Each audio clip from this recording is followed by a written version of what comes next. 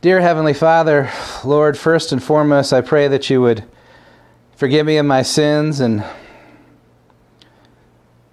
Lord, uh, give me the strength to present this message on your behalf. I'm unworthy and just, uh, Lord, ask that you would take the reins of the work into your own hands and you would put words in my mouth that would glorify your name and forgive me of my failures. And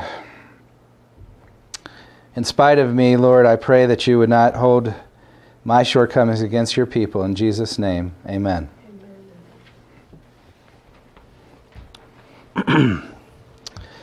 time of trouble. That's an important time, isn't it?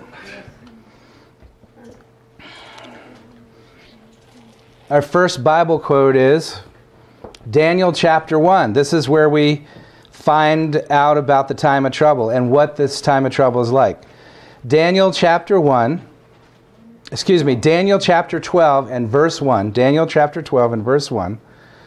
And at that time shall Michael stand up, the great prince, which standeth for the children of thy people, and there shall be a time of trouble, such as never was since there was a nation, even to that same time, and at that time.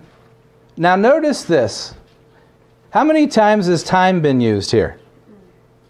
You have, and at that time. So there's a specific event, right? Michael shall stand up, the great prince, which standeth for the children of thy people, and there shall be a time of trouble. That's two times, right? Such as never was since there was a nation, even to that same what? Time. And at that time, Thy people shall be delivered, every one that shall be found written in the book. Now, listen, friends, this is the end of the story. And the word time is used four times in this little quote right here.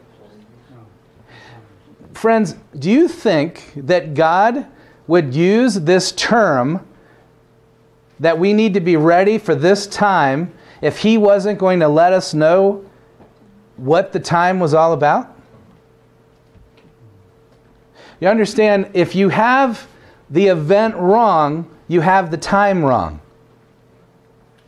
Isn't that true? Can you think of any more important thing than to be ready, to tell others about being ready, and to, and to tell others about helping to get ready? A time of trouble since there was never a nation, even to that same time? In other words, it's going to be very troublous. Let's just meditate on this for a second here. Let's talk about some times of trouble. Okay? What happened during World War II? That was a time of trouble. And friends, if you were in Europe during World War II, that was very troublous times. We're talking about concentration camps, starvation, war, death, bloodshed. That was a really bad time, was it not? Especially over in Europe. And this is going to make that look like not so bad a time. This is going to be an event that people are going to be needing to be prepared for. Now, it says here that everyone that shall be found written in the book. So the people that are delivered are going to be written in the book. And so our job is to tell people, you know, you really need to be written in this book. A friend of mine, uh, he worked on a, a, a, resort island, and the resort island had, uh, it was an exclusive island, super, super exclusive resort island, only for the rich and famous. Okay? and it was uh, an island. It's in, it's in the Caribbean, and it has its own airstrip. Okay, and so when you go to this resort, you get on this chartered jet and you fly into the island, and everything is included. I mean, it's just amazing, right? You have servants waiting on you hand and foot, uh, everything, beck and call.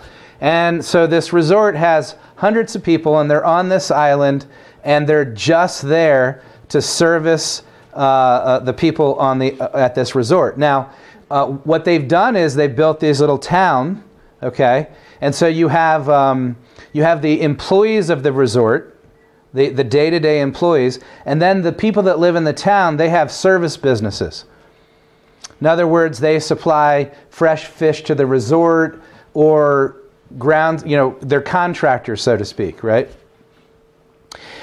And so my friend was an employee of this resort, and he um, got the word one day that a really super powerful Category 5 hurricane was getting ready to hit this resort. And this resort uh, island was about a mile and a half wide and about a half a, mi- uh, a mile and a half long and a half a mile wide and flat as a pancake. Okay? So what is what's going to happen with the storm surge? It's just going to go right over it.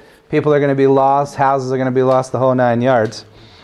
So what happened was uh, the resort, the uh, the company, had to act very quickly because it needed to get the uh, people that were visiting the resort and the um, and the employees of the resort off the island because this is not going to be good. And so um, everybody was issued these special tickets or these special passes because they had this book. If you're an employee and you're a guest, if you're not in the book, you can't get on the plane. Right? So the plane you know, this, this uh, runway is uh, big, but it's not big for a huge jumbo jet. So they got the biggest jet they could get in there, like a medium sized plane. It lands, and all, you know, and the storm's coming, it's barreling down. And the uh, employees are lined up on the tarmac, the guests are lined up on the tarmac, and everybody gets on the plane, and the plane is full and my friend said he'll never forget it as long as he lives. The plane shuts the door and it starts taking off down the runway. And who's standing on the side of the one runway with their luggage? The people that live in the little town that's servicing the resort because there's no room on the plane for them and there's no other plane coming. You understand what's happening here? It means certain death and there's nobody that can help them. And if you're not in that plane, if you're not written in that book, that's it. And the plane takes off, and the people are just standing there, lined up along, hoping that they were going to get on board, but their names weren't written in the book. And friends, this is coming. This is coming. And so, what we want to do, friends, our, what our job is, is to get their names in the book. And what's going to help get their names in the book is when they see these events coming to fulfillment, it's going to wake them up to the times that we're living in, and they're going to want to get their name in that book. Amen? And we want to be in that book too, right? Now let's talk about this book and whose name goes in it. Malachi chapter 3 and verse 16 to 18. Malachi chapter 3, verses 16 to 18. Then they that feared the Lord, who? They, they that feared the Lord spake often one to another, and the Lord hearkened and heard it, and a book of remembrance was written before him for them that feared the Lord. And they taught upon his name and they shall be mine, saith the Lord of hosts. In that day, what day is he talking about? The same day, when I make up my jewels, and I will swear, spare them, as a man spareth his own son that serveth him. Then shall ye return and discern between righteousness and the wicked, between him that serveth God and him that serveth him not. That is who goes in the book. Do you fear God? Do you serve God? And fear the Lord is beginning of wisdom, right? And who is it that fears the Lord? Those that keep his commandments. Amen? This is the judgment hour cry, friends. Fear God and give glory to Him, for the hour of His judgment has come. And this is what Daniel chapter 12, verse 1 is all about. It's the conclusion of the judgment message. Because you know what happens in verse 1 there? Michael stands up, human probation ends, and a time of trouble, and you will not be delivered unless you're in the book. Right? If you're not in the book, by the time the time of trouble comes, it's just like that plane taken off the runway. There's no other plane coming.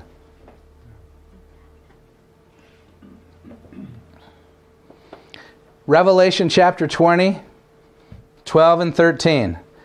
And I saw the dead, small and great, stand before God, and the books were opened, and another book was opened. Now, notice this. Check this out here. I don't know if you've ever looked at this closely. Books were opened, plural. And another book was opened. So you have books are opened, and another book, singular, is opened, which is the book of life. So you have these books, and then you have this book, which is called the book of life. And the dead were judged out of those things that were written in the books. So there are these books, and the people are being judged by the things that are written in the books. And if you are in the book of life, you're safe. Let's read on. And the dead were judged out of those things which are written in the books according to their works. And the sea gave up the dead which were in it, and death and hell delivered up the dead which were in them, and they were judged every man according to their works. So you have this book of life where your name is written, and then you have this other book, and what is it? It's a book where your works are written down. Friends, are you seeing the whole thing? Remember in my story, if you didn't work for the company, you couldn't, couldn't get on the plane. Friends, at the end of the world, if we're not working for Jesus, if we're not submitted to Him, and this is not, I'm not talking about working for your salvation, that's already been paid for. Okay? I'm talking about working for souls. If you're not working for Jesus, you're not getting on the plane.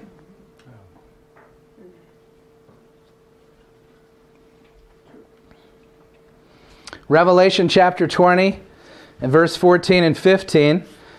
And death and hell were cast into the lake of fire. This is the second death. Whosoever was not found written in the book of life was cast into the lake of fire. Do you know we're supposed to be given this message? This is a judgment message, friends, because we're in the judgment right now. This is not a smooth method, me- message. This is no smooth message. But listen, friends, it's no smooth time that we're heading into. We're talking about a time of trouble such as there never was, ever, ever, never. And if you're not in that book, you don't have a ticket out of here. It's a free ride. Your seat's already been paid for. I'll say this. It, did you know it's harder to be lost than to be saved? It's harder to be lost than to be saved. If you ever did any building like I have, you'll realize that if you don't do the foundation right, everything else is going to be harder. You, you understand what I'm saying? Nothing's going to work. It seems easy, but believe me, it is harder to be lost. Now, let's get to the meat of the matter. These events are coming very, very quickly. And we're told that we have to give the warning to the whole entire world. Which means that it has to be done in a certain way. And this is what I want to talk about now.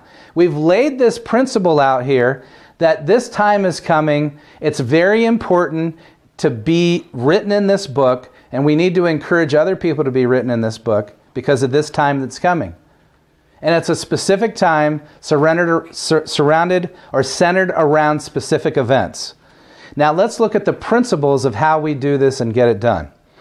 Habakkuk chapter 2, verses, actually, it should be 1 through 4. We'll, we'll get to the next part here in 4. But let's see what the Bible says.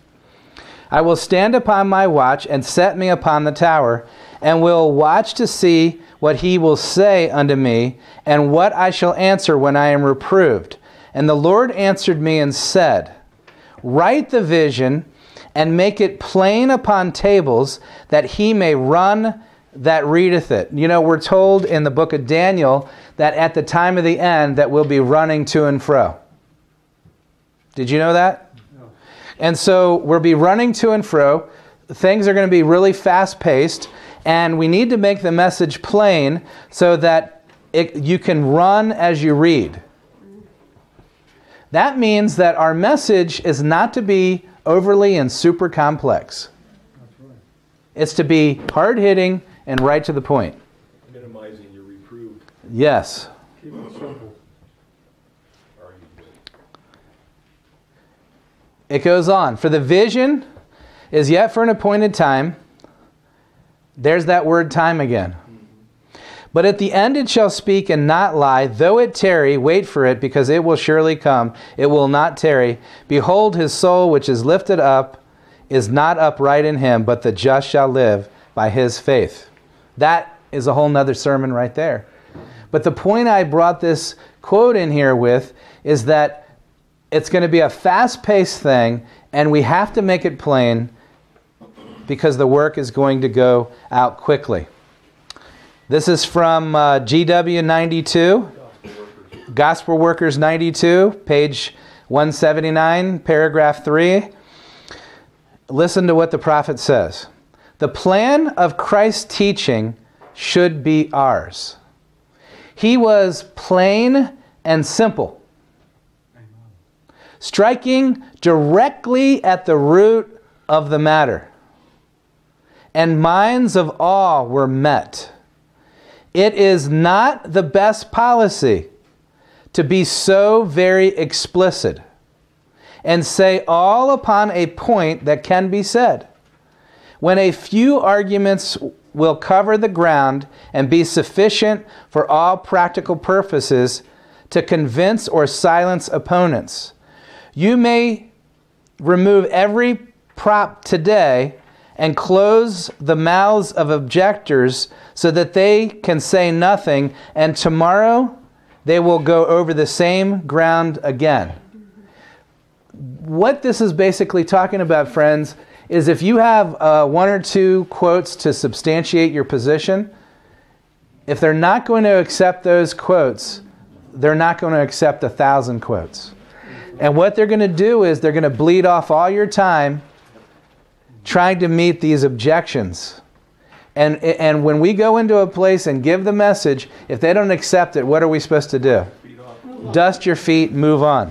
Why? Because we have a world to warn. Let's read on. She goes on. Listen to what she says. Thus it will be over and over because they do not love the light and will not come to the light, lest their darkness and error should be removed from them.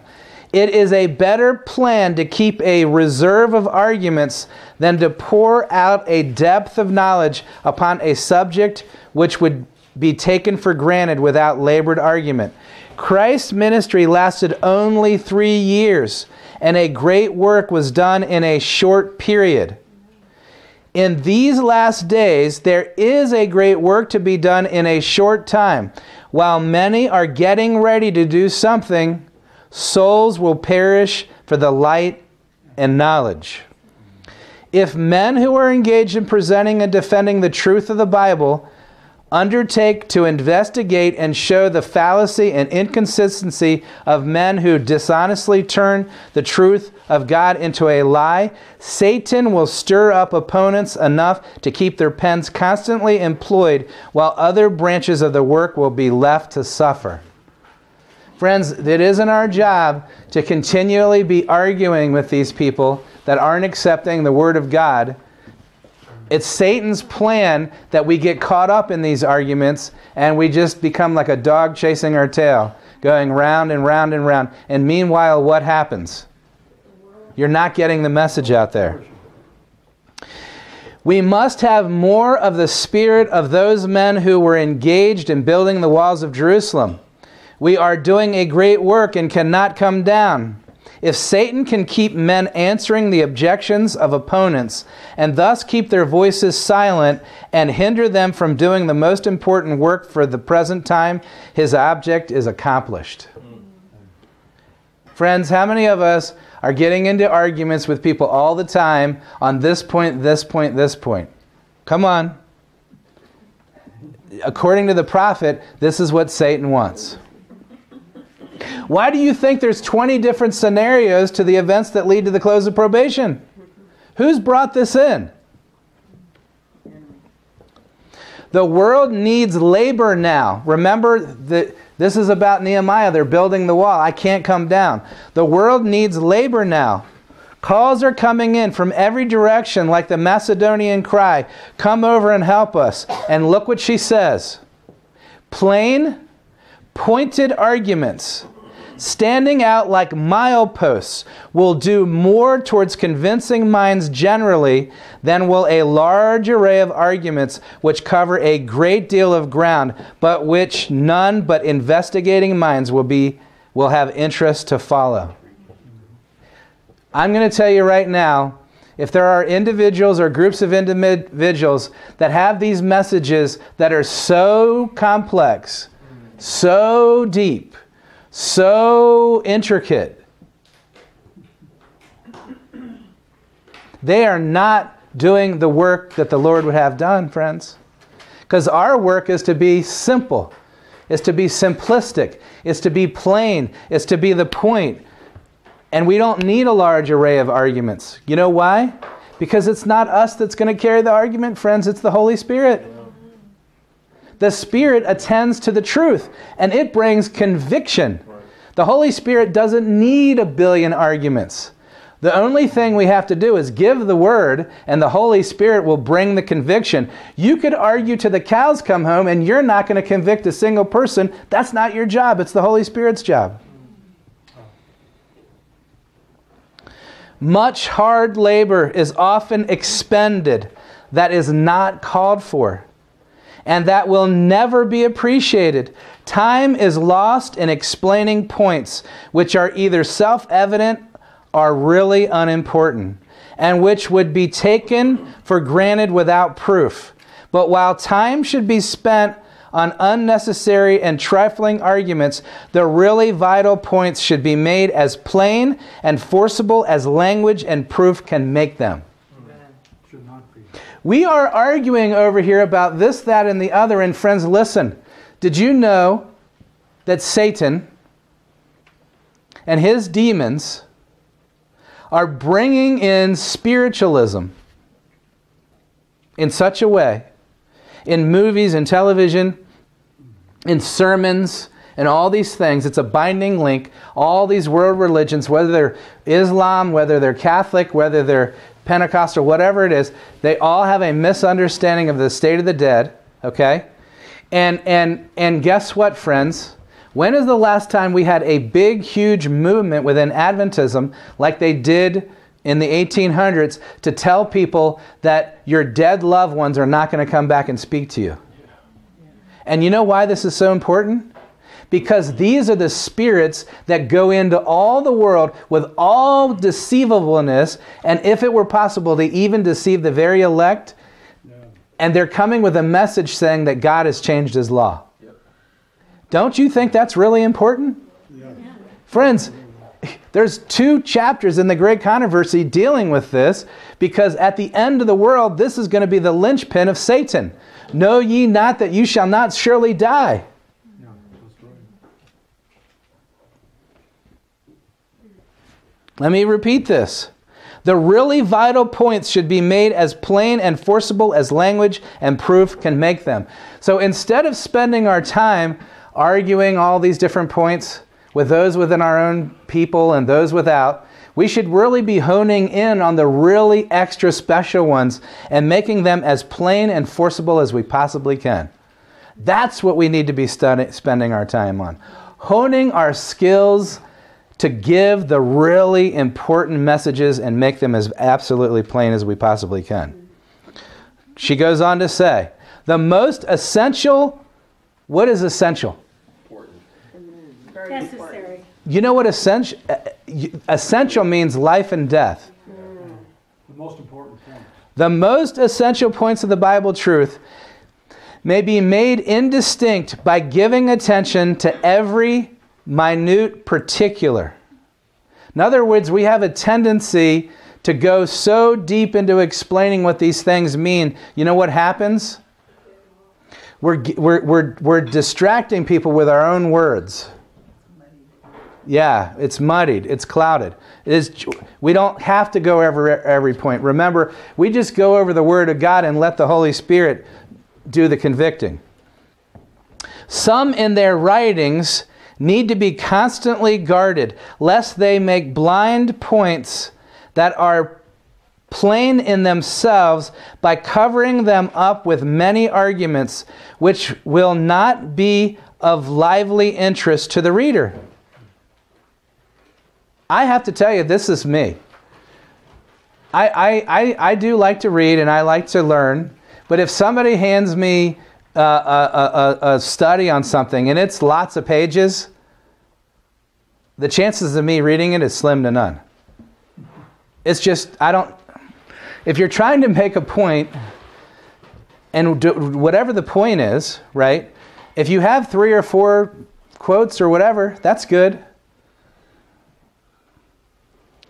Many arguments will not be the lively interest to the reader if they linger, what is that, tenaciously upon points? Tediously. Upon points giving every particular which suggests itself to the mind, their labor will be nearly lost. For the interest of the reader will not be deep enough to lead him to pursue the subjects to its close because that's what we want to do. We want to bring them to a close on these topics, right? We don't want to just leave them hanging. Much ground may be covered, but the work upon which so much labor is expended is not calculated to do the greatest amount of good because it fails to awaken a general interest. In this age, when pleasing fables are drifting upon the surface and attracting the mind. do you hear what this is saying? In other words, there are these surfacey fables. They're not even rooted in any reality, but people are grasping onto them. They're surface, attracting the mind. Truth presented in an easy style, backed up by a few strong proofs, is better and more effective than if its advocates were to search extensively and bring forth an overwhelming array of evidence. For the simple propositions do not then stand so clear and distinct in many minds as before the objections and evidences were brought before them. There are some who take many things for granted, and assertions will go further with them than long labored arguments. And this is the really the quote as I continue reading that I really love here. This is a busy world. And by the way, some of these I have some of these quotes and they will repeat some of the verbiage, but there's just different minutia here that I want you to see. This is a busy world. Is it a busy world, guys? I felt stressed just coming down here. That's how busy it is. I mean, you know, it's busy. This is a busy world. Men and women who engage in the business of life have not time to meditate, nor even read the Word of God thoroughly enough to understand all of its important truths. Long, labored arguments will interest but few, for the people read as they run. It is better to keep a reserve of arguments and proof than to pour out a depth of knowledge on a subject that is in itself clear and plain. I've been saying this. I'm guilty of this. I know. But we need to we need to put these things together and we need to we need to not have these long theses on the events leading to the close of probation. They need to be short, to the point, easy to understand. The people will get them, the Holy Spirit will drive them home. Christ's ministry lasted only three years. This is kind of a little bit of a repeat. But a great work was done in that short period. In these days, there is also a great work to be done in a short time. And while many are getting ready to do something, souls will perish for want of light and knowledge. If men who are engaged in presenting and defending the truth of the Bible undertake to investigate the statements and show the fallacy, and this is again a little bit of a repeat, and inconsistency of men who dishonestly turn the truth of God into a lie, Satan will stir up opponents enough to keep their pens constantly employed, while other branches of the truth of God will be left to suffer. And this is another way that Mrs. White uh, words this. It's almost the same, though. Said Nehemiah, when his enemies sought to entice him from his post of duty, look what he says here I am doing a great work. He believed it. We should too. So that I cannot come down. Bill has a statement, a saying, stay on the wall. Go stand and speak. Stay on the wall. Why should the work cease? Whilst I leave it and come down to you, we too are doing a great work, and we cannot come down.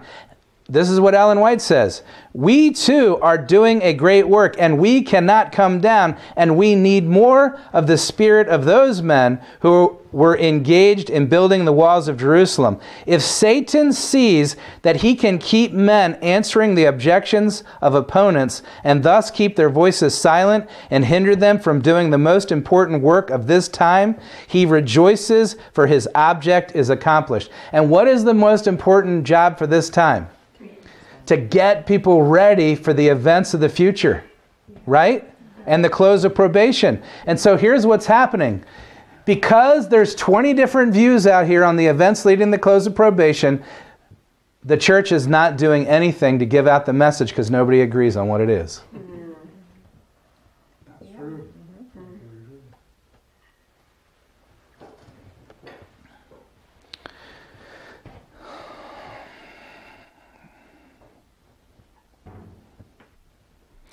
This is again a sort of a repeat. It is a slightly different though. The world needs laborers now. Get this laborers now. These are workers for the Lord. And who gets a ticket out of here? Only those. Only the workers. The world needs laborers now. From every direction is heard the Macedonian cry Come over and help us. Our success consists in reaching common minds. Plain, pointed arguments standing out as mileposts. We will do more towards convincing people than will a large array of arguments which have Which none but investigating minds will have interest to follow. And if the laborers are pure in heart and life, if they use to the glory of God the talents that He has committed to their keeping, all of you have talents, and they're all different. And you need to take those talents and commit them to the work now. Don't wait. They will have God on their side and heavenly angels to work with their efforts. Amen. Now, we're coming full circle. Because, friends, what I'm talking about us as a people doing has already been done. You see, the events that are leading to the close of probation, and we read that event to start out with, Daniel chapter 12, verse 1. At that time, at that time, in the verse before that, is an event. And if you get that event wrong, you get the time wrong. And so, for over 70 years, the Seventh day Adventist Church didn't have all these different various views, it only endorsed one view. That's it, just one. And I want to show you what effect that view had. Because I believe if we do it again, it'll have the same effect. Amen. Listen to this Review and Herald, September 6, 1877. Sunday morning, the weather was still cloudy. This is Ellen White speaking. The weather was still cloudy. Wasn't a good day to go out, but what happened? But before it was time for the people to assemble, the sun shone forth. Boats and trains poured their living freight upon the ground, as was the case last year. So they're in a place and they're having a meeting, and then a year later they're coming to the same place and having a meeting. So when the people were there last year, they heard what was talked about. Amen? And people had interest and brought friends the next year. Elder Smith spoke in the morning upon the Eastern question. Now, for those of you that might not know, the Eastern question deals with the last five or six verses of Daniel chapter 11 leading to the close of probation. This is the event that leads to the close of probation. And we titled it the Eastern question. And what is the Eastern question? Well, today we might say the Middle Eastern question. Because today we call it the Middle East, but back in those days they called it the East. And what is the question that's on the news? Fox News, CNN, ABC, every single day. What's going to happen over there? How's it all going to end? What's going to happen in Jerusalem? It's on the news every day. And friends, it was on the news every day then, too. And the newspapers referred to it as the Eastern question. Let me repeat this again. Elder Smith spoke in the morning upon the Eastern question. What year is this? 1877. He spoke in the morning upon the Eastern question. The subject was of what? Special interest. What does special interest mean? So people are interested in hearing something, and if something is of special interest, it means set apart, it's special. It's why they want to come. The subject was of special interest, and the people listened with the most earnest attention. It seemed to be just what they wanted to hear. What did they want to hear? The Eastern question. Friends, listen. I, I, I, now I want to back up for a second here. In 1877, we were taking the message that theologians are saying you can't take to the public. You can't share these truths with the public because they're too deep, too complex, and you have to do this long series and massage into them this various criticistic techniques for them to be understand scripture. And then only and only after you do all these things, then you can share it with the public after they've been indoctrinated in all these other points. Is this what's going on here, friends? Yes or no? No. It's not going on here. So, what they're doing is they're actually taking the events that lead to the close of human probation and they're using them as the tip of the spear. And this is with the public. This is with the public. John Q. Public. It seemed to be just what they wanted to hear. Do you know what that means? Is they're announcing this, they're advertising this, and people are coming to the meetings because it was the special interest that brought them there, and it's what they came to hear. It's just what they wanted to hear. But let's look at the fruit of this message. In the afternoon, it was difficult for me to make my way to the desk through the standing crowd. Upon reaching it, a sea of heads was before me. The mammoth tent was fully seated, the seats having comfortable backs. They were all filled, yet thousands stood about the tent, making a living wall several feet deep. So there's thousands seated, and there are thousands standing. And there may be some standing at this meeting. Let's see. But it's going to take time to get back into the rhythm of giving this message the way they did. This is the fruit of the message, friends. Amen. Do you think that Ellen White would write all this down if the Eastern question was a false teaching? And this is what's being told to us today. They want us to totally forget that this was a statement by Ellen White. It's just what the people wanted to hear. Uh, let me repeat this again. This is the fruit of the Spirit empowering this message. The mammoth tent. What does mammoth mean? That's a huge tent. And my understanding, some of these tents sat four or 5,000 people, right? And then thousands standing. The mammoth tent was fully seated. And why was it fully seated? What was it that they came there to hear? The Eastern question. The mammoth tent was fully seated, the seats having comfortable backs. Note to self. These were all filled. Yet thousands stood about the tent, making a living wall several feet deep. No fire department. That is what we need. And that message does that work. You understand what I'm saying? Because then we can go over to people and say, This is how it's going to end in the Middle East, friends. These are the events that lead to the close of probation. And there's a specific event that when you see it on the horizon, you can know that Jesus is coming soon and that your probation is about to close. Get your ticket, get in that book because there's no other way out of this thing. A time of trouble, trouble such as never was since there is a nation, is right upon us. Fall on the rock, confess your sins into the most holy place while there's still time. Friends, listen, don't let anybody ever tell you that this is not the third angel's message because listen, friends, listen. The third angel's message is tied to the sanctuary message. Amen?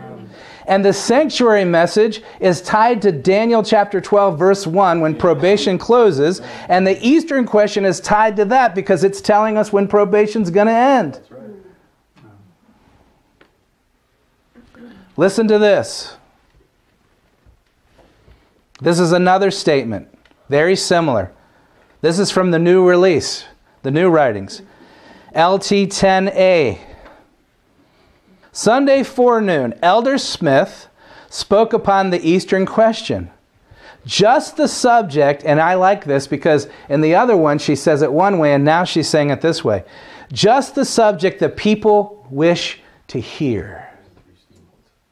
The cars and three steamboats were pouring the living freight upon the ground until we thought that there were nearly as many as last year. And indeed, there were more attentive listeners than last year. The mammoth tent was well seated with backs to the seats. And she mentions that again. Must be important. So let me just say this once again. I had made a statement that if we had these meetings on the Eastern question in modern times and we compared them with other people's alternative ending, okay? What you would have is see, the Holy Spirit would attend the meeting if it's true, right? So if you had 500 people the first night and you had a second meeting on the same subject, you would have a thousand people or 1500 people if the spirit attended it because they would go home and they would tell all their friends you got to come and hear this message right this is what happened this is what happened here because listen to this we thought what is she saying here well, we thought that there were as nearly many as last year, and indeed there were more attentive listeners than last year. You, you see what I'm saying? Now, let's see. Let me ask you a question. Do you think Mrs. White would be traveling around with these men that are teaching this topic if it was false doctrine? No. That's ridiculous, friends. That's absolutely nonsense. It is the truth, and here's her saying it. Now, what, what year is this right here? 1877. And this one right here is 1884. How many years later is that? Seven. Now, Mrs. White is still traveling around with these men teaching the Eastern question thing. And let me tell you something. Mrs. White has some very, very blistering statements to say to men who brought in false doctrine into the Advent faith. Did you know that? But here it is, many years later, and listen what, what she says. The evening meeting was largely attended. Second witness, right here, friends.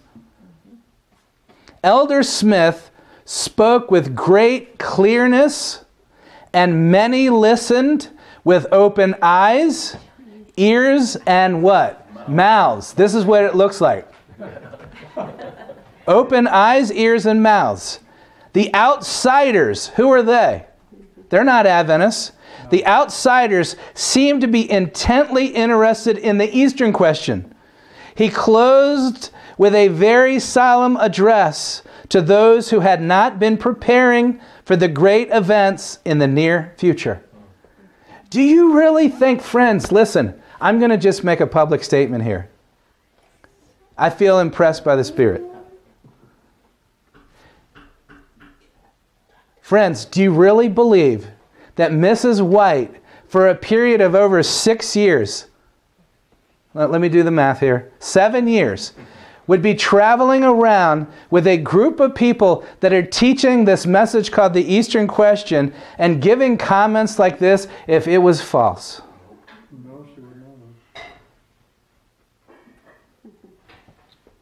And what's happening? It's what they wanted to hear. This is why they came to the meeting. This brought him out. And he's talking to who? Outsiders. And notice how he's doing it.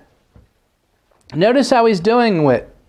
He spoke with great clearness, and many listened with open eyes, ears, and mouths. The outsiders seemed to be intensely interested in the Eastern question. He closed with a very solemn address. And you know why it was solemn? Because he's saying, This is how it's going to end. And friends, what's the next event? Close of human probation. That's a solemn message. Now, listen to this God alone can make the impression and give the increase. Did you hear that? No matter what I say or do, it's not me. God alone can make the impression and give the increase. He alone can water the seed that has been sown. I pray to the Lord that the labor put forth may not be in vain. Many seem to feel deeply. We feel and think and praise God that this large number, third witness, could have a chance to hear the what? Truth for themselves. Dr. Carew is now speaking at 5 o'clock p.m. p.m. upon the health question. Elder Daniel speaks this evening upon what? The Eastern question. May the Lord give his Holy Spirit to inspire the hearts to make the truth plain. It's 11 years later. Now we're in 1898. We started when? 1877. How many years later is that? 1898. Eleven years ago. Twenty-one. 21 years. later. Her, s- 21 years later, friends, her song hasn't changed. She's still saying, It's amazing. It's amazing the large numbers of people that are coming out to hear the truth. And it's amazing that that that they want to come and hear this eastern question and then she and then she prays to the lord may the lord give his holy spirit to inspire the hearts to make the truth plain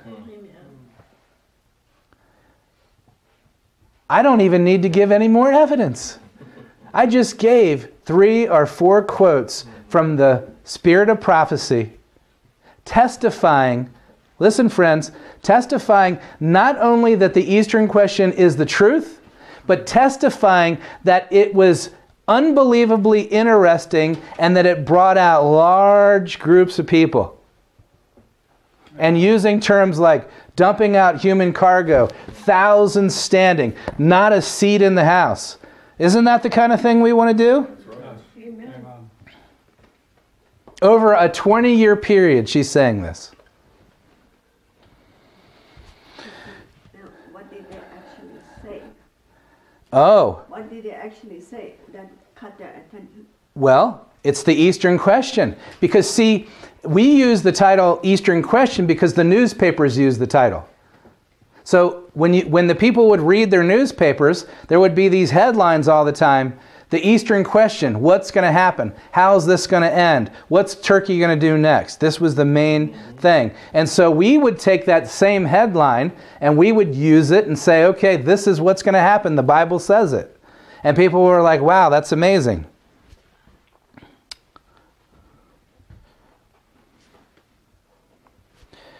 The burden of the warning now to come to the people of God, nigh and afar off, is the third angel's message. And those who are seeking to understand this message will not be led by the Lord to make an application of the word that will undermine the foundation and remove the pillars of faith that has made Seventh day Adventists what they are today. The truths, and remember she called the Eastern question what? Truth. Truth. The truths that have been unfolding in their order as we have advanced along the line of prophecy, revealed in the Word of God, are truth, sacred, eternal truth today. Friends, do you realize the ground that we're on as a people, as a church? When the prophet says this is truth, that that truth is attended by the Holy Spirit and that thousands come out to hear it. And then at the end of the world today, where we are, we're saying, eeny, meeny, miny, mo, which one is truth? That's what we're doing. But she says here that the truths that have been unfolding in their order as we have advanced along the line of prophecy, revealed in the Word of God, are truth, sacred, eternal truth today. Those are events leading up to. Absolutely. Friends, listen. We can't say that what was true in 1877 and 1884 and 1898 and then kick it to the side and say it's no longer truth. That's no foundation.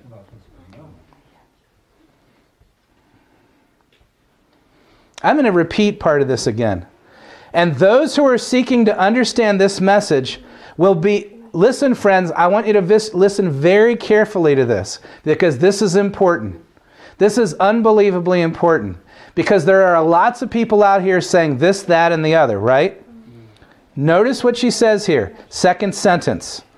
And those who are seeking to understand this message will not be led by the Lord to make an application of the word that will undermine the foundation and remove the pillars of the faith that has made Seventh day Adventists what they are today. Friends, if a person comes in, if a book comes in, if a message comes in and says, This is new light, this is the truth, and it undermines our foundations, God's not in it.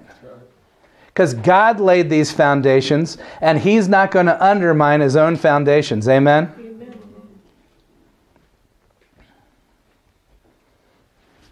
Those who passed over the ground step by step in the past history of our experience, seeing the chain of truth in the prophecies, were prepared to accept and obey every ray of light. They were praying, fasting, searching, digging for the truth as for hidden treasures. And the Holy Spirit we knew. Who? The Holy Spirit we knew was teaching and guiding us. What leads us into the truth? The Holy Spirit. Many theories were advanced bearing a semblance of truth, but so mingled with misinterpreted and misapplied scriptures that they led to dangerous errors. Very well do we know how every point of truth was established, and the seal set upon it by the Holy Spirit of God. And all the time voices were heard Here is the truth. I have the truth. Follow me. But the warning came Go not ye after them. I have not sent them, but they ran. Listen, friends. According to this right here, what is it that leads us into the truth? The Holy Spirit. And what led the Spirit of prophecy? The Holy Spirit. So, who led Mrs. White to make these statements and call the Eastern question truth? The Holy Spirit. And so, listen, this is what she's saying. All the time voices were heard here's the truth. I have the truth. Follow me. Did it go along with what the truth that had been laid? No. And here we are. Our foundation our men, our men of experience, those who had an experience through the 1844 time period, who dearly paid a price, believe these truths, and now here we're saying, no, no, no, that's not the truth, this is the truth. Eeny, meeny, miny, mo. The leadings of the Lord were marked. Friends, listen. Leadings of the Lord are marked. And most wonderful were his revelations of what is truth. Point after point was established by the Lord God of heaven. That which was truth then is truth today. But the voices do not cease to be heard. This is truth. I have new light. But these new lights and prophetic lines are manifest in misapplying the word and setting the people of God adrift without an anchor to hold them. And here's where we are we're adrift. You can pick this ending. Here's the book. Here's all these endings. You pick which one. Is that what we really want to be as a people? Or do we want to be united around the truths that God led us step by step by step, and that we can give a message and we can give it directly to the people? We don't have to massage some philosophy into them for them to be able to understand. We present the Word of God just as it reads, the Holy Spirit attends it, and friends, I promise you, listen. Every seat in the house will be filled and thousands will be standing, and their eyes and their ears and their mouths will be ho- open. If the student of the Word would take the truths which God has revealed in the leadings of His people, and we're already told, friends, that Mrs. White said the Eastern question is truth. If the student of the Word would take the truths which God has revealed in the leadings of his people, and appropriate these truths, digest them, bring them into their practical life, they would then be living channels of light. But those who have set themselves to study out new theories have a mixture of truth and error combined. And after trying to make these things prominent, have demonstrated that they have not kindled their taper for the divine altar, and it has gone out in darkness. Friends, this is why our message is not powerful like it was when these messages were given in the past here in the United States. Why? Because we have combined our own theories, we've put aside these truths that were established, and we've taken up this supposed new channels of light and we have combined it with truths like the Sabbath and other things, but the Lord is not empowering the message. You understand what I'm saying? He's not empowering these uh, uh, errors and truth combination thing. The whole company of believers were united in the truth. Did you hear that? The whole company of believers were, past tense, united in the truth. They were those who came in with strange doctrines, but we were never afraid to meet them. Our experience was wonderfully established by the revelation of the Holy Spirit.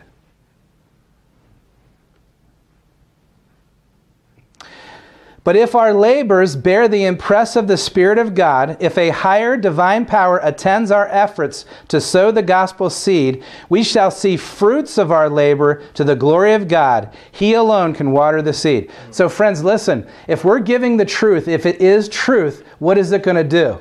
it's going to bear fruit. It's going to bear fruit. And this is what I'm saying. This is what I'm urging our leaders to do this October. Don't say eeny, meeny, miny, mo. Don't do that. Don't pick the one that you like the best. How do you do it? You look at the message that the Spirit has attended. Amen? And you look at how it's bearing a harvest, it's reaping souls. It's it, friends, listen. If the truth is truth, the events leading to the close of probation are going to do these things. Their eyes, their ears, and their mouth is going to be hanging open. And if the message can't do that, and it's not based on God's word, it's not going to happen. It's never going to happen.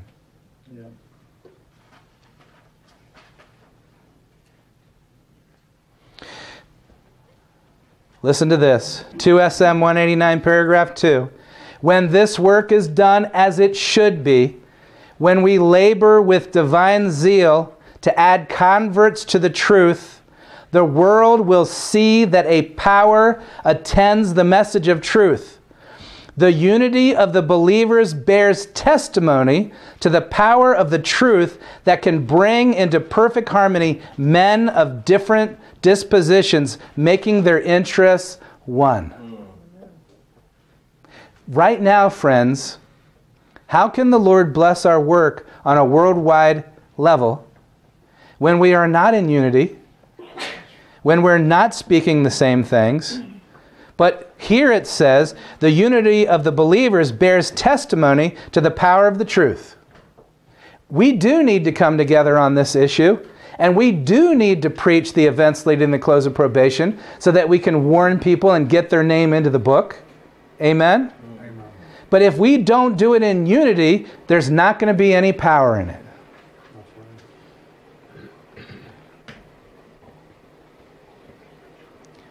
Friends, keep this in prayer. We're at a very pivotal time in the history of this nation, of this church, and of this world. And events are rapidly being fulfilled. Events that our pioneers, through studying the Word of God, foresaw. The events surrounding what's going to take place in Jerusalem, and I'm talking about literal Jerusalem, literally over in the Middle East, what's going to happen in that city and around that region leading up to the close of probation. These are events that people can see, they can hear, and they can understand, and they can, they can understand very quickly and very plainly. You understand what I'm saying? They'll see it, they'll get it, and they'll be convicted from Scripture and Scripture alone and through the outpouring of His Holy Spirit uh, as to what the truth is. And this movement and this truth will advance to every nation, kindred, tongue, and people. But, friends, we have to do it the way the Lord has inspired us. And we can't tear up the foundations, and we can't rip down the pillars, and we can't take Mrs. White and say, well, that was truth for her, but it's not truth for me. That's dangerous. And friends, let me just say this it really just makes the best sense. It, this scripture that the pioneers interpreted just plain makes the best sense. Amen. It does. It's easy for people to see. Everybody believes that the events that are transpiring over the Middle East are prophetic, and all the world is watching Jerusalem. It's a tug of war between Christianity and Islam and the Jews over the control of this city and over what happens to it. And friends, the Bible tells us the events that happens in that city just before the close of probation, and we need to take it to the world, and we need to start doing it now. Let's pray. Amen. Dear Heavenly Father, you've told us through your prophet that the events leading to the close of probation are clearly revealed, plainly and clearly revealed, but multitudes are walking in darkness as if they never have been. Lord, they've been plainly and clearly revealed to us as a people, as a church. But we have accepted various other theories and ideas, and we're adrift without a compass, without an anchor to hold us into place. And Lord, I just lift up our people, I lift up our leaders, that we would make a decision to stand upon the truth as it was laid by those who paid dearly with an experience, with their lives, with their, with their income, with their goods, with everything they had, to take this truth far and wide. And in a short time, a great work was done, and thousands, thousands, Lord, came and flocked to these meetings. It can happen again, Lord. I pray that each one of us would commit our talents, whatever they are, to this work of taking this message to all the world. In Jesus' name, amen.